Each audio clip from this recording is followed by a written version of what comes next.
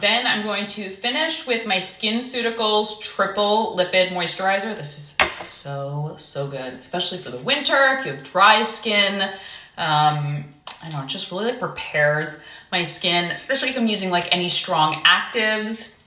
It's a great moisturizer to kind of seal it all in with. I also use it during the day, but it is, oh my gosh, it's definitely a little pricey, um, but it is included in the Bluemercury sale that is happening right now.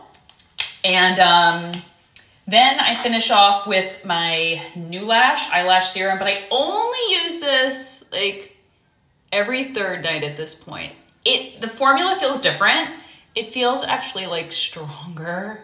So I typically would used to use this like every night and my lash growth serum, but I only use it like every third night at this point because my lashes have gotten very, very long, which is what I wanted.